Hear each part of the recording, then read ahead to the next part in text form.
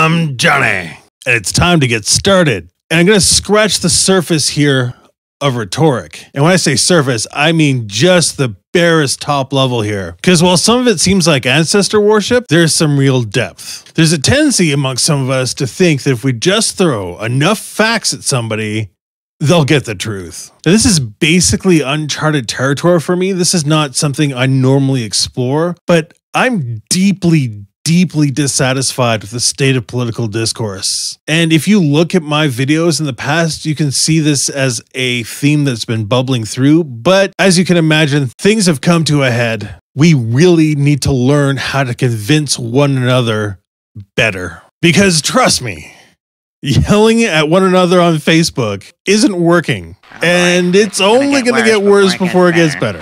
So there's this whole psychological thing called the backfire effect. This is essentially why yelling at one another on Facebook isn't working. People have a tendency to really dig into their beliefs when confronted with evidence to the contrary. There's already been a lot written about this. What I want to focus on is how to overcome that. Now, one way to do this is to actually prime the target with self affirming attributes. You're basically strengthening their own self image. And this works because of cognitive dissonance. Okay, now wait a second. What the hell is that? You might be asking. Cognitive dissonance is the process where when you're faced with an idea that goes against what you believe, your mind has two choices.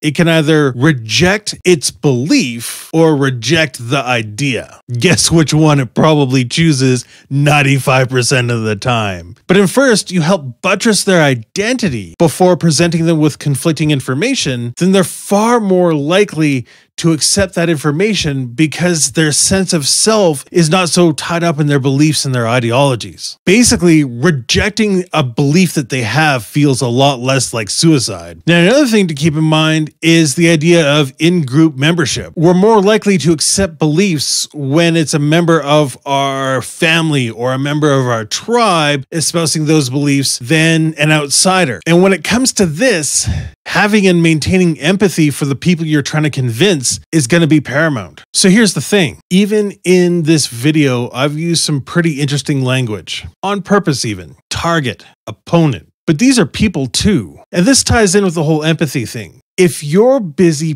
painting somebody else with a wide brush and putting them into an outgroup, how can you really understand their arguments? How can you really understand their point of view in hopes to even change it? But it needs to be done, not only because if you want to make a better argument, you should know the arguments that go against your own, but because ultimately they are people.